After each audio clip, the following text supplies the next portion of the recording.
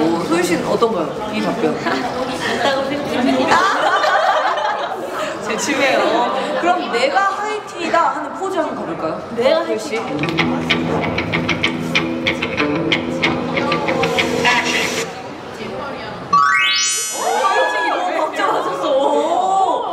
역시. 어, 맞는 것 같습니다. 자, 그리고 또 녹음실에서 제일 오래 있던 멤버는 윤경 씨다. 이유가 네, 뭔가요? 그 이유가 있어요. 이게 막 그런 게 아니라 그 언니가 이번에 애드립이나 이제 녹음하는 파트가 많- 많아서 가지고 굉장히 공을 많이 들여줬어요. 열심히 화음도 쌓고 열심히 해보았습니다. 할게 많았군요. 할게 보니 할게 많았어요. 또 오래 있을 수도 있고 또 수정도 있- 있을 수도 있으니까. 그래도 다음 거 할게요. 자, 솔직히 나보다 핑크머리가 더잘 어울릴 것 같은 멤버는 없다. 없다. 없다. 아니, 많긴 할 텐데 이번에 제가 핑크니까 제가 최고 먹겠습니다. 아.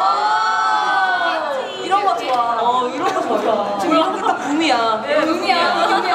어, 붐이야. 자, 그러면, 그럼 주리 씨한테 물어볼게요. 네. 그럼 나보다 오렌지색 잘 어울릴 것 같은 멤버는? 없다.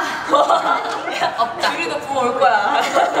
붐이에요, 주리? 저는 없어요. 왜냐면 제가 제일 비타민인 거예요. 어, 인 거예요?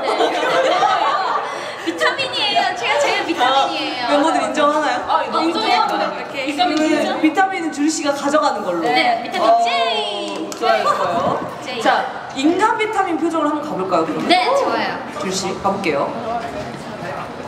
하나, 둘, 셋.